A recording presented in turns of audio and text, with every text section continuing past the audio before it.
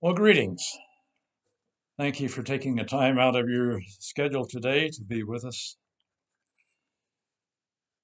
When I was asked to give this talk today, I began thinking about uh, what I was going to talk about. And the word get, kept coming up to my mind was peace. Now, most of us in this world, most normal people, want to just live in peace, not being hassled with everything that's going on. But I know that that's kind of hard to do in this life that we've got today with all the troubles that are going on around our nation and all around the world.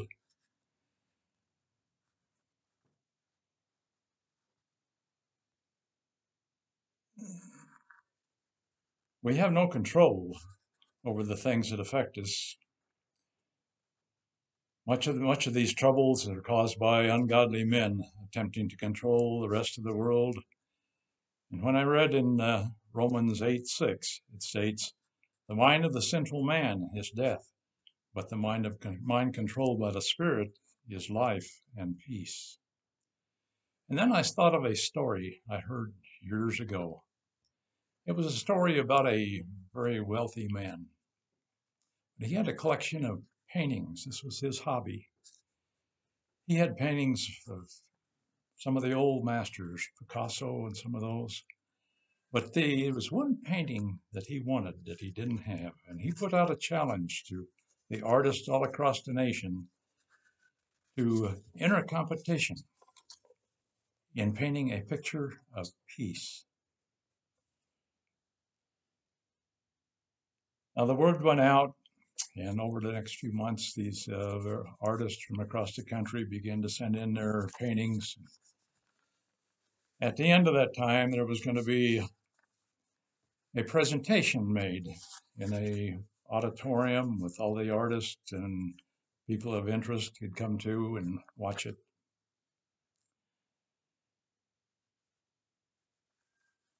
But at this meeting, and in the Congress, this uh, in this big auditorium. They come in, there were three easels up on a platform, each one covering a picture. And as he removed the picture from the first one, this was the third place finisher.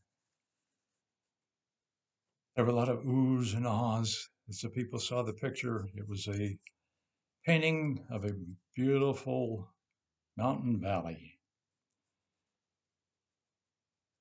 covered in beautiful green grass, trees, the poppies blooming, high mountain, snow-capped mountains in the background.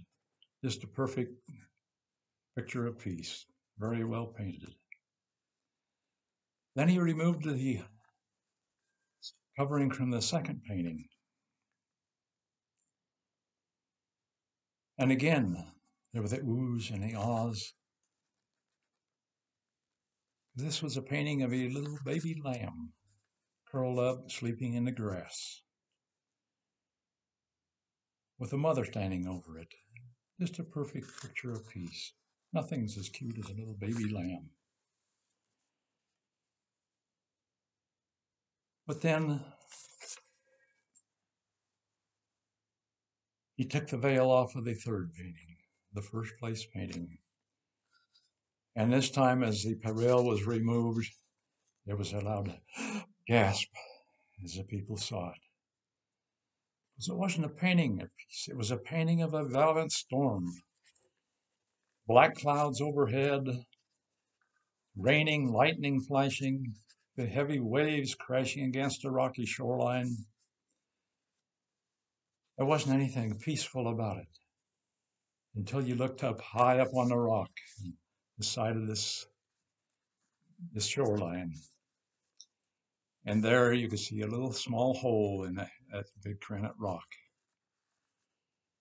And you look inside that, and there was a picture, there was a little bird sitting in the nest, sleeping. Totally oblivious to what's going on around about it. Totally at peace.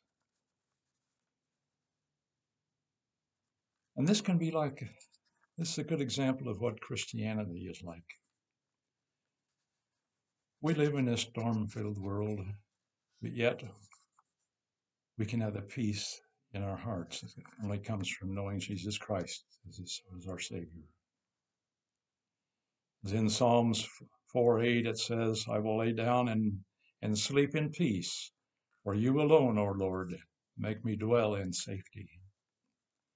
Now, the Lord doesn't take us out of this sinful world filled with all the trouble but He can give us peace in knowing that we will spend eternity in heaven with Him.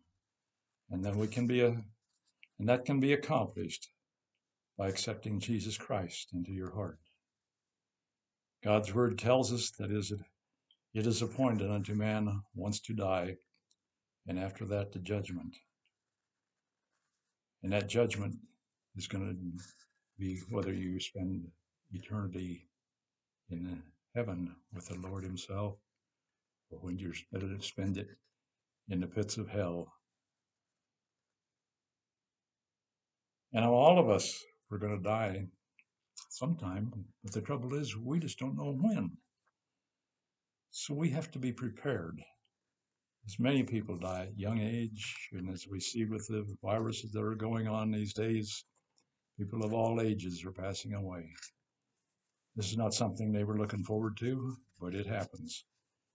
And it's up to us to be prepared when that does happen. So if you have never accepted Jesus Christ as your Savior, there's no better time to do it than right now. You know, God loves you. He said so in John 3:16. I'll be the most quoted verse in the entire Bible.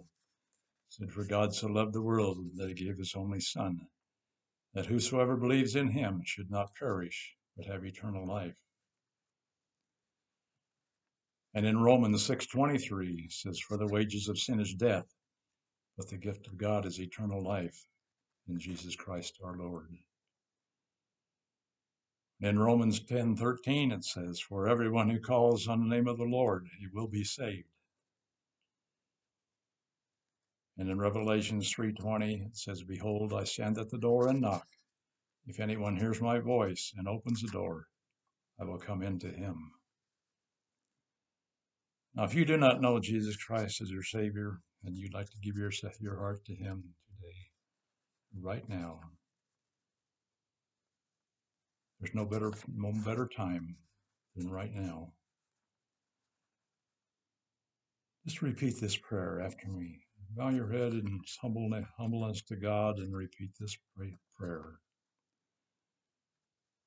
Confessing to God that I am a sinner and believing that the Lord Jesus Christ died for my sin on the cross and was raised for my justification, I do now receive and confess him as my personal Savior. I want to stop. I want to stop for a moment and just pray for you. Lord, I just thank you, Lord Jesus, for those who may have ex- expressed a desire to turn their hearts and lives over to you. I pray, dear God, that you would work miracles in their lives. Let them know, God, that you love them and you care for them. Be with them now and lead them in their paths that you would have them to follow the rest of their lives. And if you have sincerely said this prayer, your name is now written down in the Lamb's Book of Life. One last scripture. 1 Corinthians 5.23 says, May God himself, the God of peace, sanctify you through and through. May your whole spirit, soul, body be kept blameless at the coming of our Lord Jesus Christ. The one who calls you is faithful, and he will give it unto you, and he will do it to you. Now, if you have accepted Jesus today, I encourage you now to spend time each day reading your Bible and praying, surrendering more and more of your life to Him. And if you don't have a Bible, if you just absolutely do not have one, can't get one, If you live here in Stevens County, if you will contact us, the Assembly of God Church here in Colville, give us your name, address, and phone number. We will contact you and we'll get a Bible to you. And in fact, I'll deliver it to your house if I have to. And God bless.